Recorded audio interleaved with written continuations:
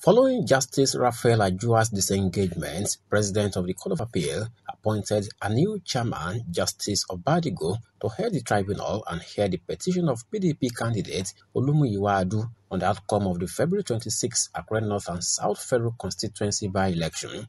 After counsel appearances in petition number EPT NAS 01-2022 between PDP's Adu and Alade, APC and Independent National Electoral Commission INEC, lawyers pledged to support and cooperate with the tribunal for timely and expeditious determination of the petition. Chairman of the tribunal, Justice Obadigo, said the tribunal is aware of the task before it and promised to administer justice in accordance with their oath of office and the law. After the opening session, the tribunal went into a pre-hearing phase and heard motions from counsel who presented their reliefs to the three-judge panel, counsel to Mayokun Alade, Olawole Abiola, and that of the APC, Bankole Alabi, in their reliefs prayed the tribunal to dismiss Adu's petition for incompetence and being fundamentally defective while backing their submissions with affidavits and written addresses. The lawyers also urged the tribunal to strike out some paragraphs of the petition which border on criminal allegations against some unnamed APC chieftains, hoodlums,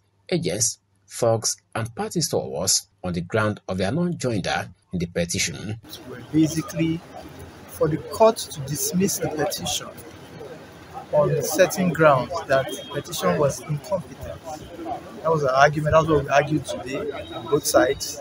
But counsel to the petitioner, Olumide Ogidon, opposed the prayers with affidavits and written address arguing that the criminal allegations made against the unnamed persons have been settled by the Supreme Court judgment in the case of Obasanjo and Yusuf. On the vagueness of his petition, as argued by counsel to Alade and APC, the petitioner's lawyer Ogidon backed his argument with Section 285 of the 1999 Constitution as amended and therefore urged the tribunal not to grant their prayers. And that is to the effect that every preliminary issues, every preliminary objections and interlocutory applications in respect of the competence of the tribunal, ruling on it must be reserved to the final judgment. And the tribunal agreed with us on that point. After hearing the parties' arguments, the tribunal adjourned to Wednesday, June the 2nd, to continue the pre-hearing session.